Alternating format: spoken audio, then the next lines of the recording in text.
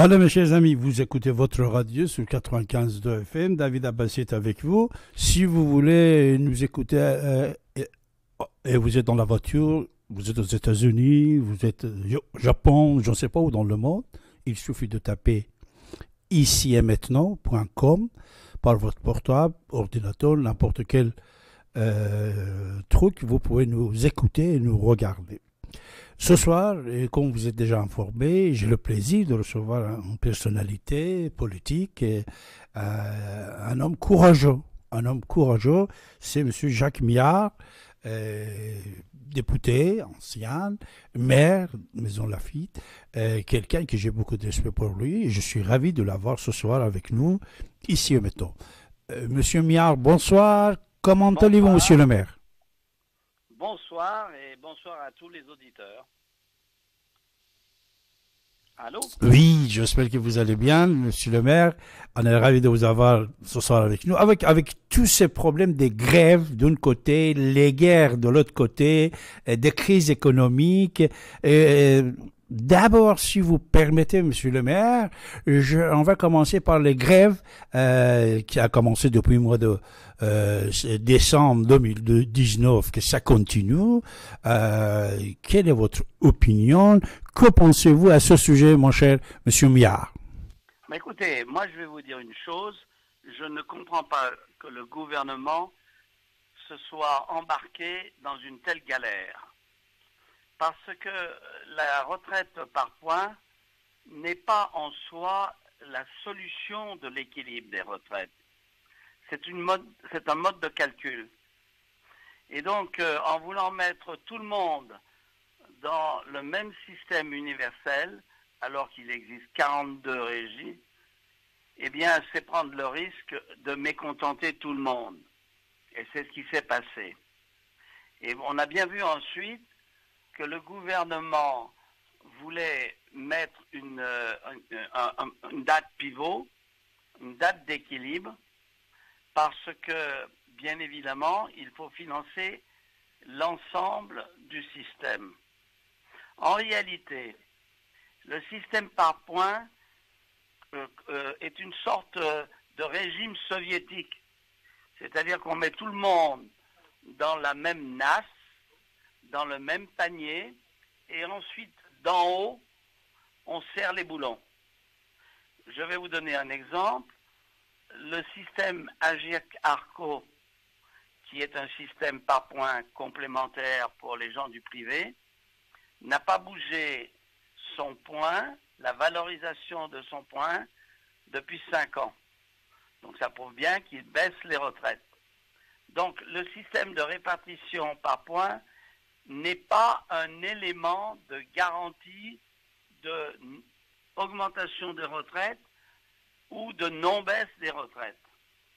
Et donc, euh, je suis étonné que le gouvernement qui a lancé ce système sur une sorte de, de slogan électoral n'ait pas compris qu'en réalité, on ne fait pas simplement de l'économie économétrique, c'est-à-dire que sur le papier, c'est merveilleux, mais il n'a pas compris qu'on fait de l'économie politique et qu'en réalité, en voulant imposer ce système dit universel, on allait mécontenter tout le monde. Donc il s'est mis dans une nasse, dans une impasse. J'ajoute à cela que bien évidemment, il a prétendu qu'il y aurait, ce serait la fin des régimes spéciaux, et il les reconduit avec des régimes spécifiques. Donc aujourd'hui, on voit bien, surtout après la lettre du Premier ministre aux associations, aux syndicats, qu'en réalité, il est en train d'essayer de vouloir trouver une solution avec la conférence financière d'avril, alors même qu'il veut débuter la discussion au Parlement. Et donc ce projet il est mort-né. Et quand on dit qu'il veut ensuite modifier en deuxième lecture, eh bien, il se fiche de la figure des parlementaires et des Français. Il veut mieux valu de retirer ce projet et de discuter et ensuite de venir avec un projet bouclé avec euh, l'ensemble des partenaires sociaux et non pas avoir fait subir au pays bientôt sept semaines de grève. C'est de la pure gabegie et le gouvernement a véritablement agi avec amateurisme. Et c'est ça le problème.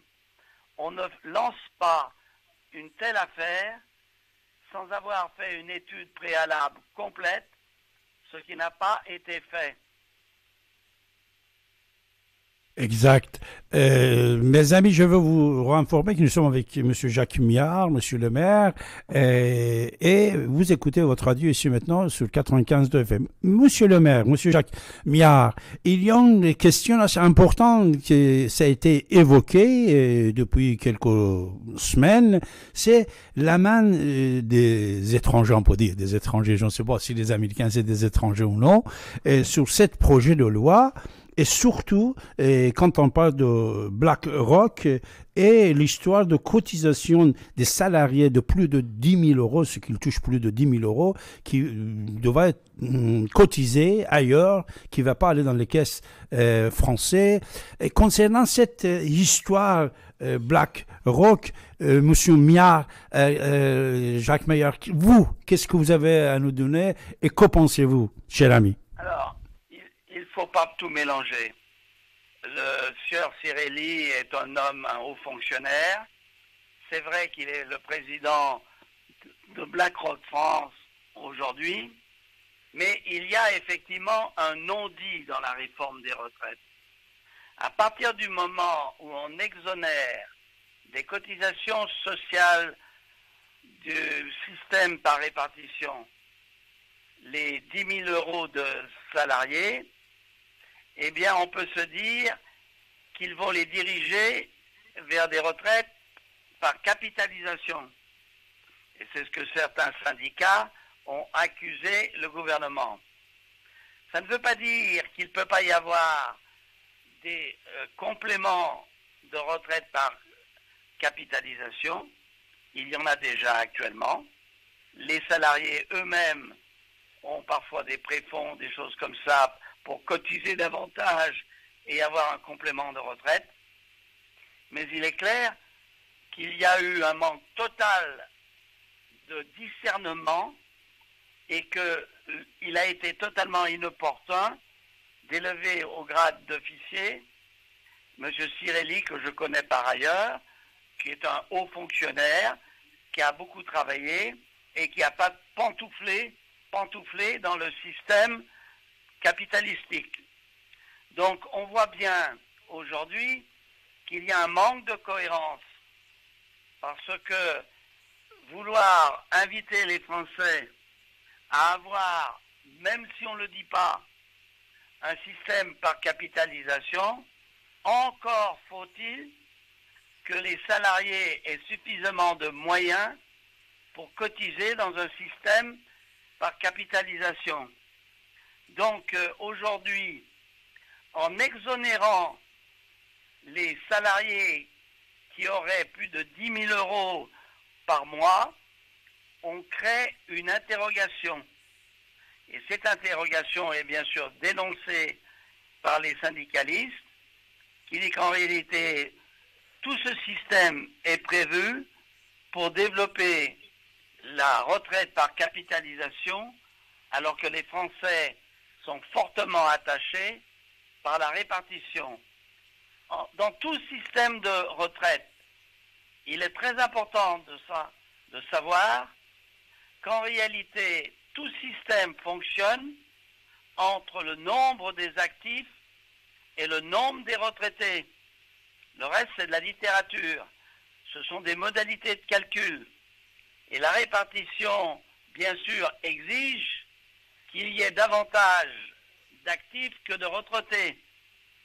Or, aujourd'hui, malheureusement, nous avons des chômeurs. Donc, si on diminue le nombre des chômeurs, c'est-à-dire qu'on augmente le nombre des salariés, à ce moment-là, on a une chance d'équilibrer le système sans même allonger la durée du travail. Mais pour cela, il faut changer de logiciel économique il faut investir et à mon avis, il faut revisiter le système logiciel de Maastricht dans lequel nous sommes coincés. Car tout cela se tient. Plus vous avez d'actifs, moins vous aurez besoin d'augmenter les cotisations, soit patronales, soit salariales, soit euh, d'augmenter la durée du temps de travail. Mais pour cela, il faut développer les investissements. Et pour développer les investissements, eh bien, il faut retrouver les avances des banques centrales aux États pour investir, ce qu'interdit Maastricht.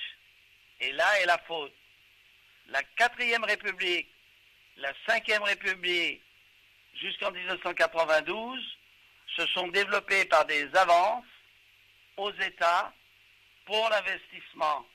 À partir du moment où nous augmenterons les investissements, qui sont très bas en France, car nous avons besoin d'intelligence artificielle, d'équipements militaires, nous avons besoin de, de, développer les chemins de fer, les universités, etc. C'est la seule solution pour investir et relancer la machine économique. Excellent. Mon cher monsieur Jacques Miard, monsieur le maire, une euh, question vraiment qui est presque sujet tabou, et surtout les hommes politiques n'en parlent pas, ne l'acceptent pas, c'est l'histoire des complots. Euh, complotistes et complots. Euh, nous savons très très bien qu'aucun homme politique qui est placé n'importe où, euh, élu, député, ministre, premier ministre, président de la République. Pourtant, il y avait beaucoup d'écrasements, d'écrasements de personnalités avec des procès, et toujours, toujours, surtout, euh, on peut dire après des années 80, en France surtout, mais personne n'a pas osé parler de l'existence de complots, euh, dire qu'on est complotiste, etc., etc. Mais récemment, avec l'histoire de euh, Carlos, monsieur Carlos Ghosn, nous pouvons constater que certains politiques, et même lui-même, monsieur Carlos Ghosn, ses avocats, autour de lui, on a commencé à parler euh, de l'existence d'un complot contre monsieur Carlos Ghosn. Avant de parler de Carlos Ghosn, j'aimerais savoir, vous, que pensez-vous au sujet de cette histoire, euh, sujet tabou, complot? Nous pouvons constater que si Mitterrand n'était pas euh, mort comme il a voulu partir, il y avait des procès contre lui. Après tous les présidents presque des procès, sauf François Hollande, on ne le voit pas. Et après des ministres, des sénateurs, euh, des grands ministres des Affaires étrangères comme Ronald Dumas, tout ça, on sort des choses, on sort. Il y en a toujours. Alors, euh, moi, chaque fois quand je suis aux États-Unis, les Américains, ils pensent que, euh, au même, en majorité, ils pensent que c'est des complots en France, etc. Mais avec l'histoire de Carlos Ghosn, ça commence en France de parler de complot, surtout qu'un ami, comme vous savez, euh, on le connaît de tous les deux, il a fait un livre, qui un autre, il est en train de le faire, euh, sans complot, euh, pour, etc., etc. Il y en a un autre. Enfin, mais vous, cher monsieur Jacques Miard, que pensez-vous d'abord concernant le complot complotiste et après sur l'histoire de Carlos Ghosn? Alors écoutez, il ne faut pas, je dirais, fantasmer. Il peut y avoir des manipulations internationales. C'est évident. Notamment l'intervention américaine en Irak a été une gigantesque manipulation sur l'existence d'armes de destruction massive qui auraient été cachées, y compris dans le palais de Saddam Hussein. Donc on voit très bien qu'il y a eu une manipulation très forte. De la même manière, les affaires qui se sont passées au Rwanda montrent très clairement qu'il y a eu aussi des manipulations de l'opinion publique internationale. Ça peut exister. Maintenant, tout n'est pas affaire de complot. Il ne faut pas non plus exagérer. Mais les manipulations peuvent exister. Les fausses nouvelles, l'intoxication, qui peuvent par exemple créer des mouvements de panique et des paniques boursières. Ça, ce n'est pas de la littérature. Nous en avons des exemples.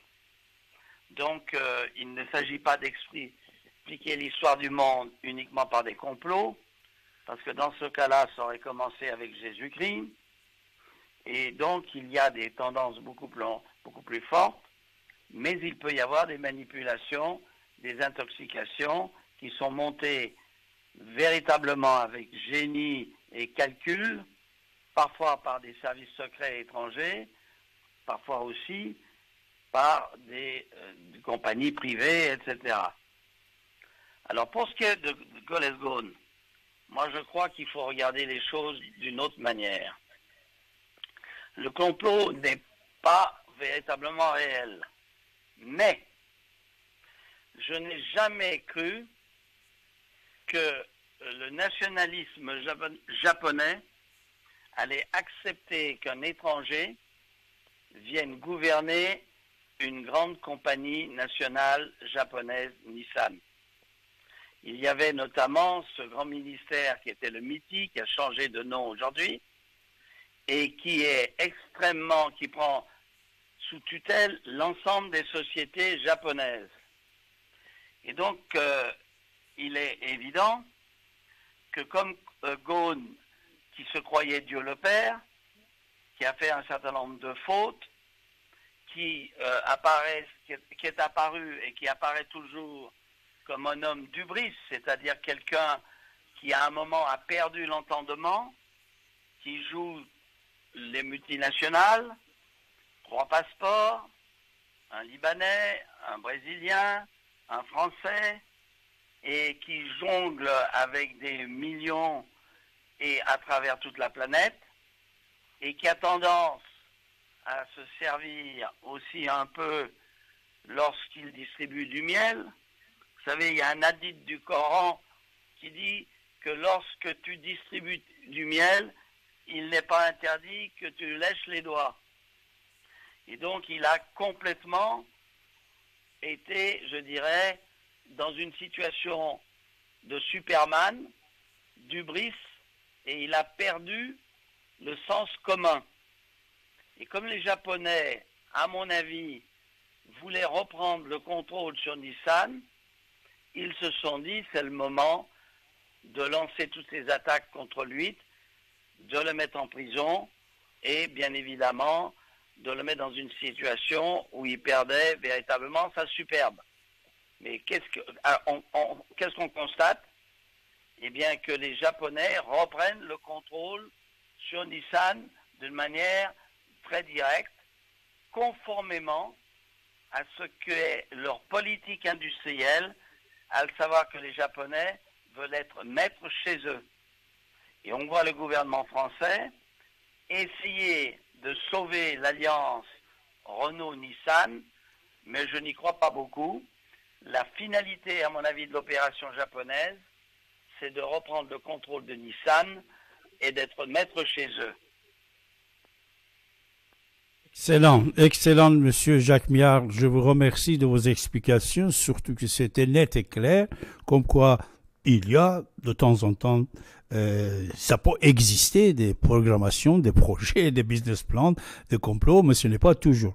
Alors, euh, si on poursuit même histoire, histoire de complots et tout ça, j'aimerais avoir votre avis concernant euh, dernier acte que les Américains ils ont fait, euh, qui à mon avis c'est tellement dangereux ce qu'ils viennent de faire, M. Trump, euh, concernant l'assassinat du général Soleimani. Soleimani, que nous savons très très bien, était un allié de l'Occident, moi-même, j'ai de documents que depuis cinq ans, j'ai diffusé sur l'antenne. Et même son testament qu'il avait, avait fait il y a déjà euh, quelques semaines avant euh, l'acte euh, qu'il précise, c'est-à-dire il va lui dire que, par exemple, même l'Israël ne voulait jamais le tuer. Et ce soir, je veux faire un cadeau à tout le monde, que personne ne le sait pas, euh, Monsieur Miard, je vais le donner ici sur l'antenne. Euh, à tout le monde, voilà, euh, pour vous que vous êtes là. Par exemple, vous savez, le moment que Emad Mournier est assassiné euh, par les Israël, en même temps, Israël, il pouvait assassiner Qasem Soleimani, puisque Qasem Soleimani est à côté de lui, il le quitte, et deux minutes après, c'est-à-dire, c'est lui-même qui l'a dit, deux minutes, Qasem il a dit, mais ce n'était pas publié, j'ai des preuves. Deux minutes après qu'il quitte Emad Mornier, il est assassiné, Emad Mornier.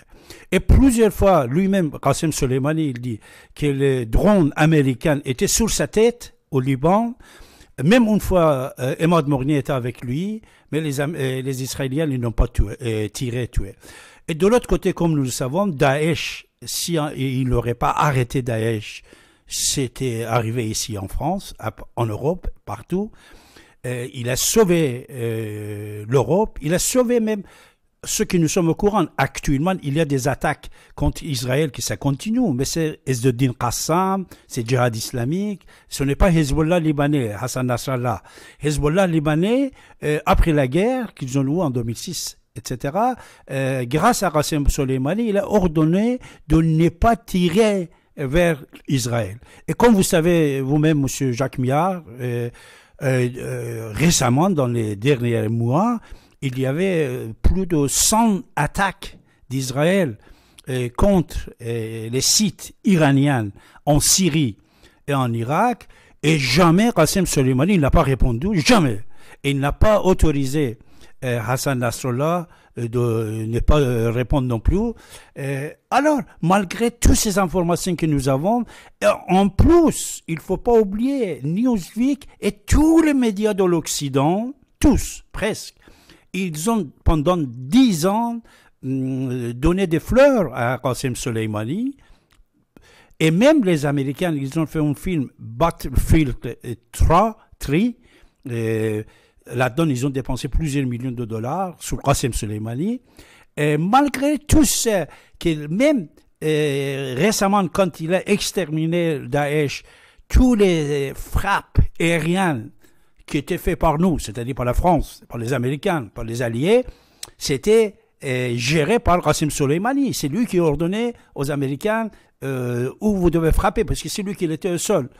Alors malgré tout ça, tout un coup, on vient d'assassiner Qasem Soleimani, et ça, comme on dit aujourd'hui ici maintenant, tout le monde le dit, il dit que ça, c'est en faveur euh, de la continuation de l'existence de la République islamique d'Iran, parce qu'avec ça, ils ont renforcé euh, leur existence. Ce n'est pas seulement en Iran, euh, mais c'est l'empire chiite dans le monde.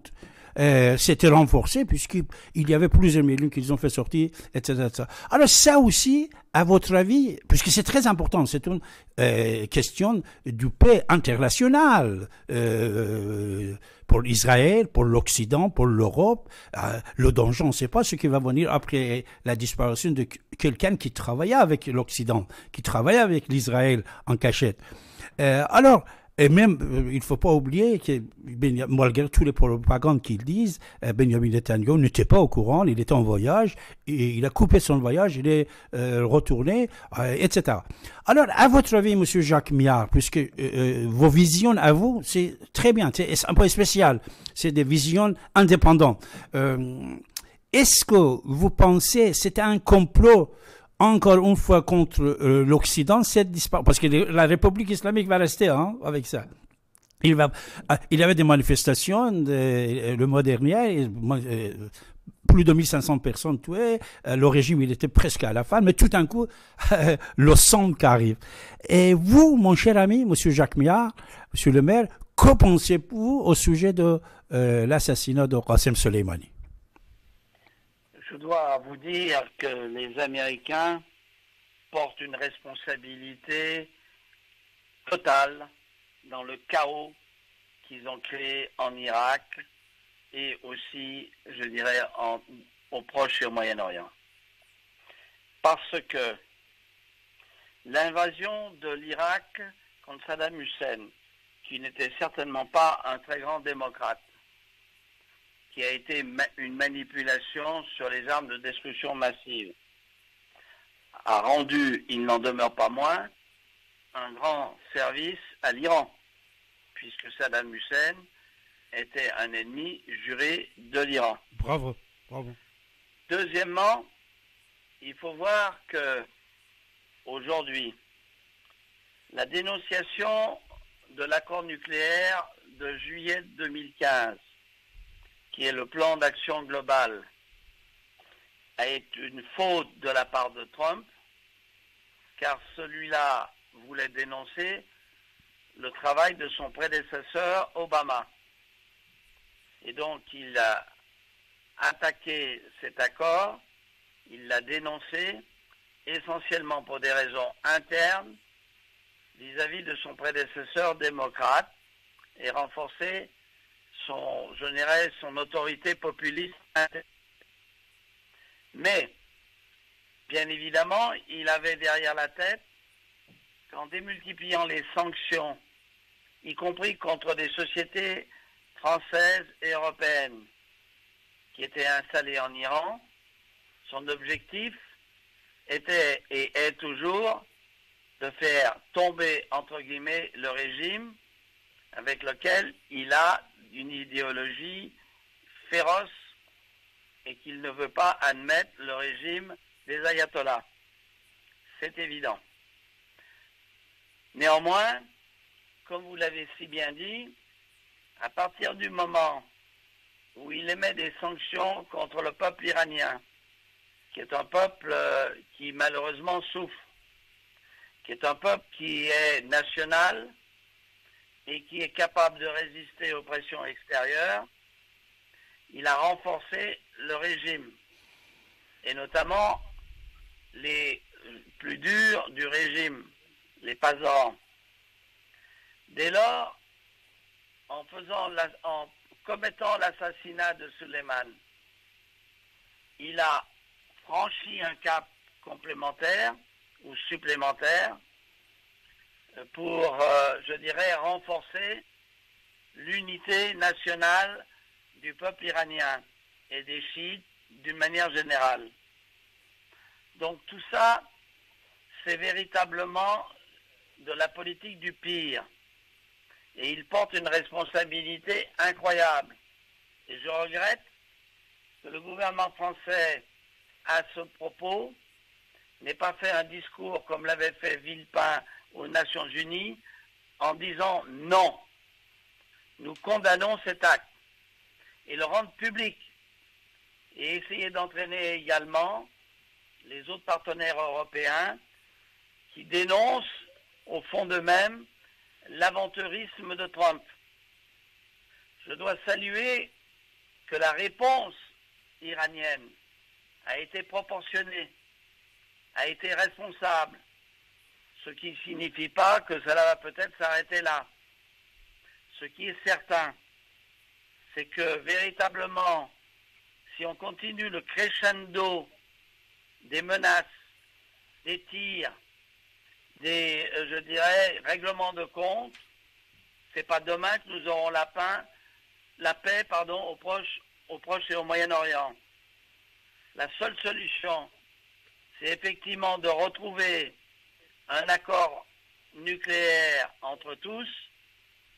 L'accord qui avait été signé en 2015 n'était peut-être pas parfait, et encore, il faut donc retrouver cette base, et il faut que les Américains cessent avec leurs sanctions, avec leurs explications extraterritoriales, notamment à l'encontre des sociétés françaises et européennes, de vouloir être le gendarme du monde.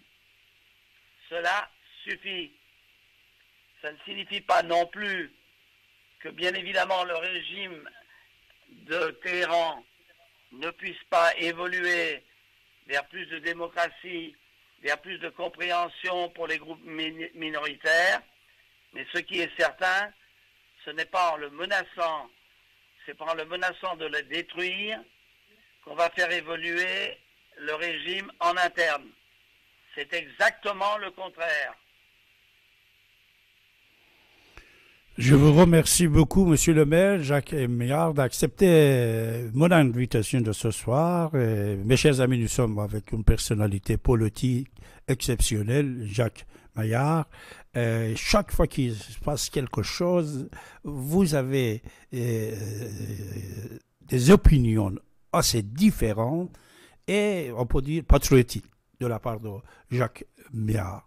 Alors, Monsieur Jacques Méard, actuellement, si vous êtes consulté euh, par euh, Emmanuel Macron concernant cette crise qu'il est, qui est assez grave, euh, je crois que même plus grave de ce que votre ami Alain Juppé il avait à l'époque, qu'est-ce que vous le conseillez à Macron?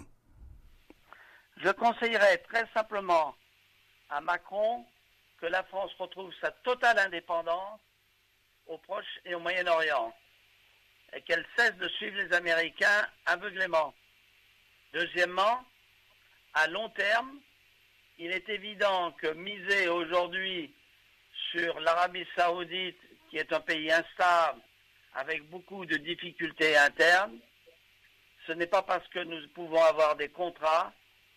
Il faut jouer la carte aujourd'hui de l'Iran, car la carte de l'Iran, c'est à terme un grand pays de 100 millions d'habitants et qui est capable effectivement d'imposer avec l'ensemble des États alentours une paix qui ne soit pas bien sûr la paix persique, mais qui permette de rebâtir, je dirais, les désastres des guerres qui ont trop duré. J'ajoute que l'Iran est un ennemi farouche d'Al-Qaïda et de l'État islamique, et que malheureusement l'Arabie saoudite, dans ce domaine-là, a joué aussi les apprentis sorciers. Je suis même convaincu que l'Iran peut trouver des relations apaisées avec Israël, car euh, euh, véritablement, ce sont deux États structurés et qui peuvent véritablement évoluer, chacun en ce qui le concerne, vers encore plus de démocratie. Mais jouer aujourd'hui pour la France la carte américaine et la carte de l'Arabie saoudite est une faute. Alors, euh, encore, je vais vous donner un autre cadeau, mon cher monsieur Jacques Millard, puisque quand on, est avec des gens comme vous, euh, ça sert, si je vous donne certaines euh, informations. au moment des élections iraniennes, Rouhani il a envoyé une personnalité assez importante, c'était mon copain, il est toujours vivant, c'est un grand artiste qui est devenu politicien. Il avait été élu à l'époque. Il est venu à Paris, chez moi, dans mon, à l'époque dans mon club Bonaparte. Et sans aucun doute, nous avons entendu le nom de Ruhollah Hezam, ce garçon qui était arrêté, qui avait une agence de presse. Ruhollah Hezam aussi le soir même, il est venu là-bas chez moi. Alors, cette personne était invitée le soir même, euh, invitée de l'ambassade euh, euh, d'Iran en France. Et devant moi, il a refusé l'invitation. Il a dit, je suis avec, euh, voilà, Siawasha Avesta, c'est mon nom iranien, David Abbasi. Alors, moi, j'étais très content que ce monsieur, il vient d'Iran, deux jours ici en voyage, et il décline l'invitation de l'ambassadeur, et il mange avec moi, puisque, vous savez, moi, euh, euh, ça fait 40 ans que j'ai quitté l'Iran, mais j'avais beaucoup d'amis, euh, y compris ce qu'on-là, qui est le guide spirituel, Ali Ramli, et les autres, était ami de mon père. Enfin, vous savez, monsieur Jacques Miard, il m'a dit, David, écoute, j'ai un message que je vais transmettre aux euh, Israéliennes, euh, Rouhani. Il dit que nous allons euh, normaliser nos relations avec l'Israël si je suis président. Cette personne, vous avez énormément de photos de lui avec Rouhani. Il était un soutien de Rouhani. C'est quelqu'un qui est le monde entier iranien, iranien, il le connaît. Et et, après cette histoire, M. Jacques Miard, euh, j'ai fait ce qu'il fallait. M. Shimon Press, qui était le président de l'époque, lui-même, après quelques jours, il a annoncé, il a annoncé qu'il est prêt à euh, rencontrer Rouhani. Mais nous avons pu constater que lui, il n'a pas répondu. Vous avez entendu au moins cette invitation de Shimon Press à l'époque, M. Jacques Miard? Écoutez, ça remonte déjà à un temps certain. Malheureusement, Shimon Peres n'est plus. Mais moi, je suis de ceux qui pensent qu'il est possible que Israël et l'Iran trouve des relations apaisées. Mais pour cela, bien évidemment, il ne faut pas qu'il y ait des, deux côtés des gens qui jouent la carte du pire. Je ne suis pas certain que la politique de Netanyahu soit véritablement une politique euh, de paix et de pacification. J'ai toujours dit à mes amis israéliens, notamment aux ambassadeurs, qu'il faut qu'Israël soit accepté comme un État du Proche-Orient au Proche-Orient. Et aujourd'hui, on voit bien que, notamment encouragé par la politique de Trump, il y a un refus de créer deux États, alors que ce serait la sagesse même. Car à terme, Israël va avoir des problèmes démographiques dans un monde qui peut être hostile autour de lui. Donc il n'y a pas à véritablement avoir 36 solutions. Il faut qu'il y ait deux États qui soient indépendants et travaillent, et travaillent ensemble.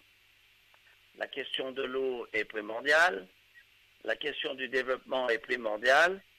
Les Israéliens ont beaucoup de compétences et ils peuvent apporter notamment aux pays arabes alentours des compétences pour développer leur pays. C'est ça la solution. Si on continue à se dire, tu m'as fait ça, je vais te faire ça, à chaque fois qu'il y a une action terroriste, c'est qu'il y a une proto-histoire. Donc c'est sans fin. Et donc il faut casser ce cercle de la violence pour trouver des relations apaisées.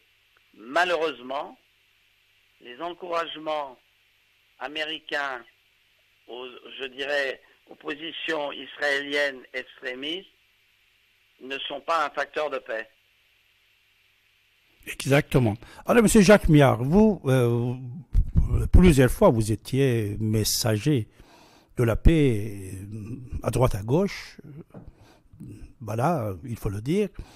Et pourquoi, puisque comme j'ai entendu, plusieurs fois, plusieurs fois, vous étiez invité d'aller en Iran. Pourquoi euh, vous n'allez pas là-bas euh, pour essayer d'obtenir euh, certains avantages pour la paix, mon cher monsieur Jacques Mia Vous savez, je vais vous dire une chose, c'est qu'aujourd'hui je ne suis plus député, mais j'ai toujours un œil attentif sur ce qui se passe dans cette région, car elle est très proche et elle a une influence directe sur la paix civile également en France.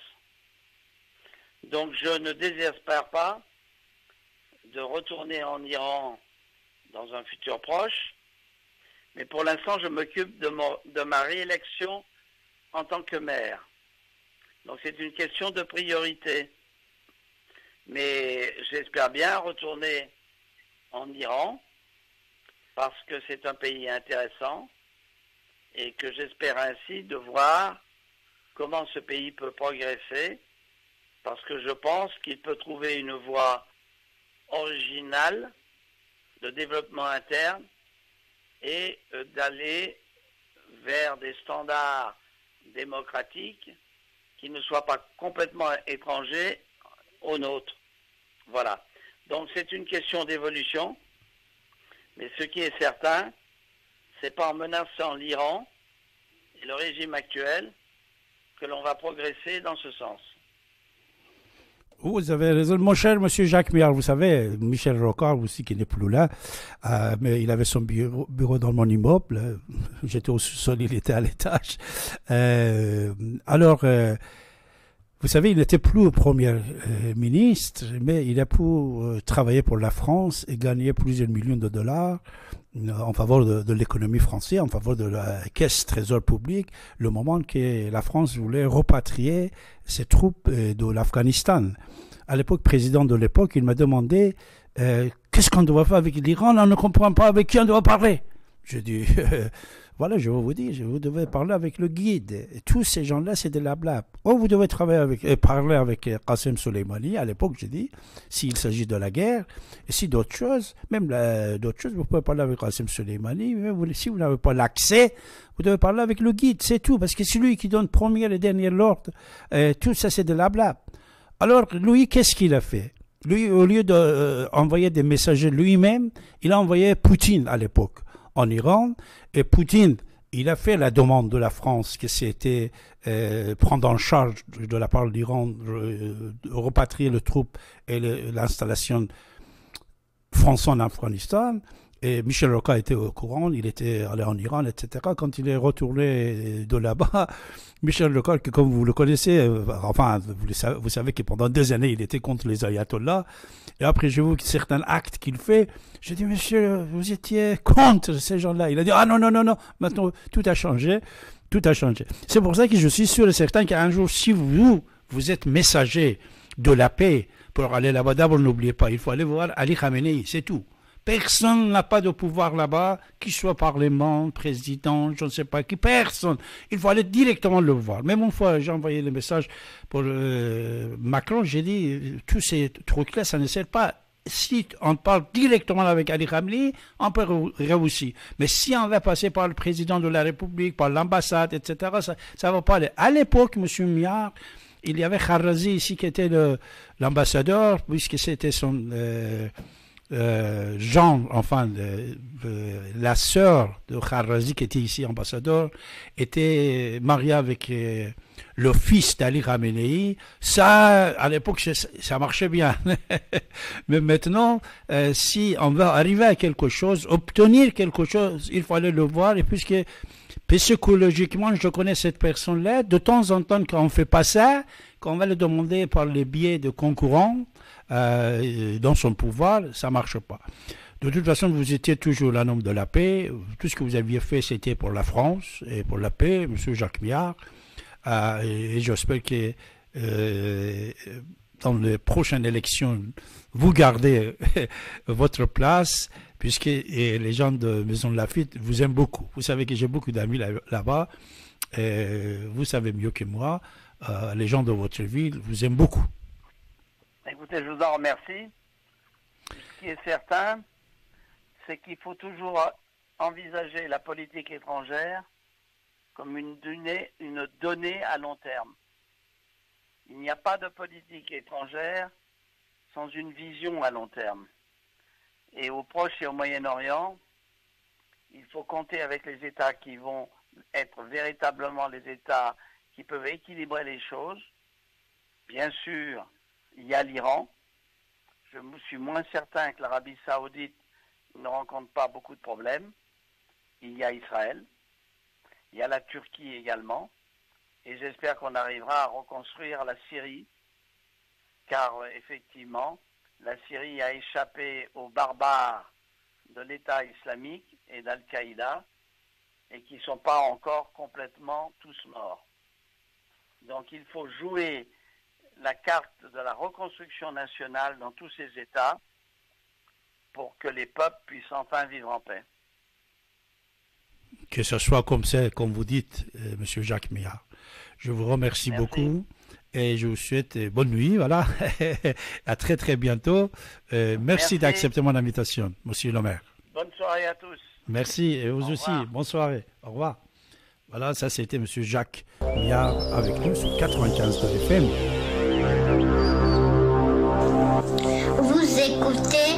Radio ici et maintenant sur 95.2 FM. J'arrête quand je veux. Vous avez la parole en composant le 08